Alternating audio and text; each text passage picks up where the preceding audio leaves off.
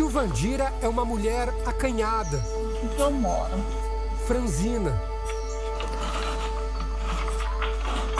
E de poucas palavras. Tô levando a vida. Se a senhora pudesse falar com o Chagas hoje, novamente, o que a senhora falaria para ele? Eu nem sei, né? Só Deus sabe. Ela diz que nunca desconfiou do ex-marido. Nunca fez algo que talvez suspeitasse que tinha alguma coisa errada com ele. Não. Ele era quietinho Às vezes ele era quietinho. e às vezes ele era violento. Essa é a foto do batizado de uma das filhas do casal. Mas quando os crimes foram descobertos, os dois já não estavam mais juntos. É difícil acreditar nisso. É difícil acreditar. Em casa era uma relação normal, vocês namoravam. Eu, eu nem me lembro mais disso, dessas coisas. Não. Já esquecer do passado, a gente esquece tudo. A senhora sofreu muito por conta disso. Eu sofri, foi muito.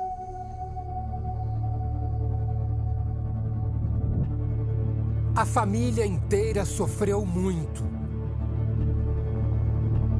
Thaís, a filha mais velha, passava por humilhações na escola. Você tem alguma lembrança?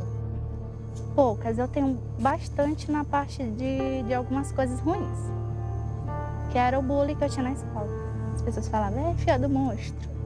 Elas gritavam, sabe? Aos 22 anos, a jovem fala pela primeira vez com uma equipe de reportagem. É difícil. Demais. É a vida, né? Mesmo inocente, ela paga pelos erros do pai. Eles não se importam se magoam, não. É, o que elas sentem, o que elas pensam. Não falo nada, não rebato. Eu não, eu não pago mal com mal. Aí teve um tempo que eu cheguei em casa e falei pra mamãe que eu não queria ir mais pra escola. Nesta entrevista inédita, Thaís revela que sempre sentiu falta de Chagas. Independente do que ele fez, eu não tenho culpa do erro dele, né? E também sofria quando eu falava, ah, mas tu gosta do teu pai, tu ama teu pai? Amo, ele é meu pai, né? Amor, um sentimento inesperado quando falamos sobre um psicopata. Eu, eu, eu amo meu pai.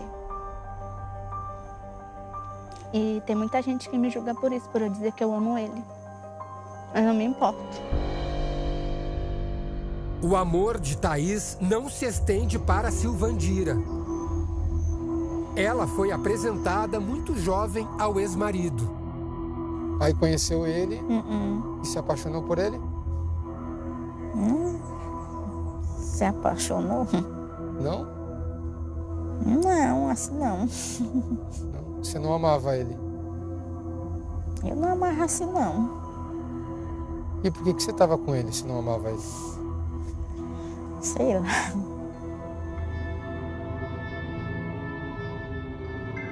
A senhora sente falta dele?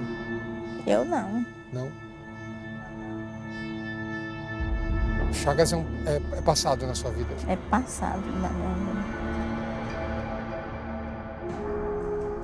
Hoje, Thaís e Silvandira sobrevivem em uma casa humilde, com um quarto, sala, cozinha e banheiro.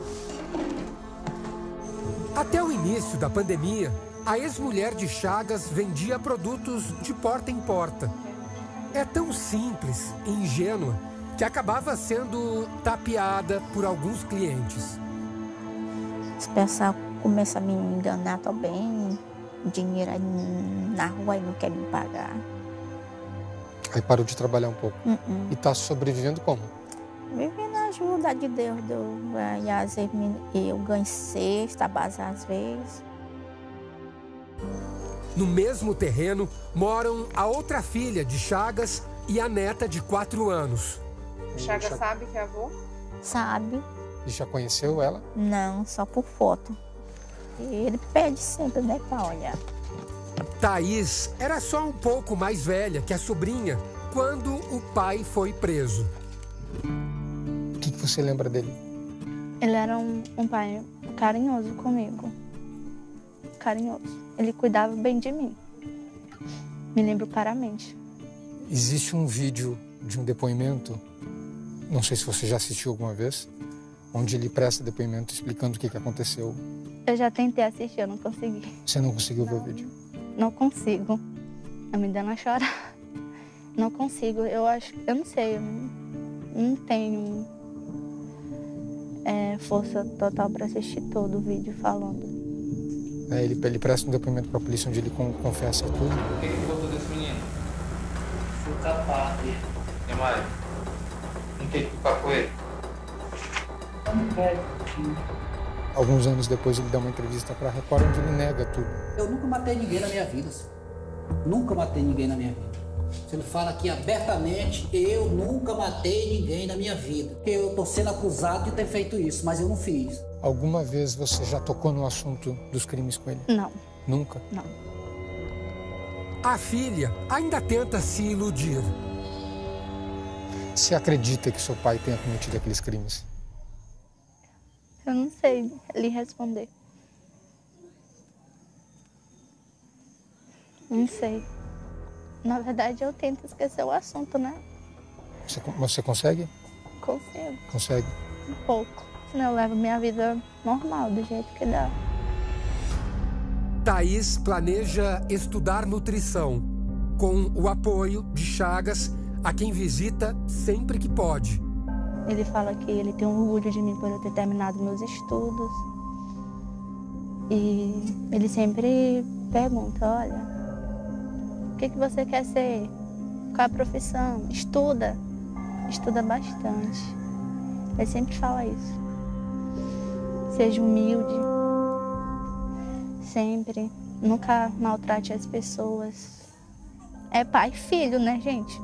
E também não tem como não chorar, não dizer que sente saudade. Nós, nós somos seres humanos e a gente tem sentimentos. Ele também tem. eles não têm sentimentos superiores de piedade, compaixão e altruísmo. O fato da filha amar ele, eu acho que é amor de, filho por pai. É, Agora, de, pai por filho, sendo um portador de, de uma deformidade moral, então aí é preciso examinar para ver até onde tem de verdade esse amor ao próximo. Na entrevista, Thaís demonstra ser diferente, ter sentimentos. Se diz solidária com as mães das vítimas. Eu não posso imaginar as dores dela, né? Mas, sei lá, se eu pudesse dar um abraço em cada um, eu dava. Não sei porquê, mas eu tenho essa vontade. É com Mônica, a mãe de Daniel, que ela construiu uma relação especial. É uma pessoa muito próxima de mim. A gente, ela me trata super bem, muito bem mesmo, com muito carinho, com muito amor. A amizade entre as famílias resistiu à tragédia. Assim como tem pessoas que me julgam, que, que talvez não gostem de mim pelo simples fato de eu ser filha dele, eu tenho pessoas que me amam também. E eu acho que isso é o mais importante. Enquanto foge do passado, a família de Chagas tenta reconstruir um futuro menos monstruoso. Eu acho que a minha fuga é tentar viver o presente, é viver um dia de cada vez, saber o que, que o futuro está reservando para mim, né? E se ele saísse da prisão, a senhora voltaria com ele? Eu não.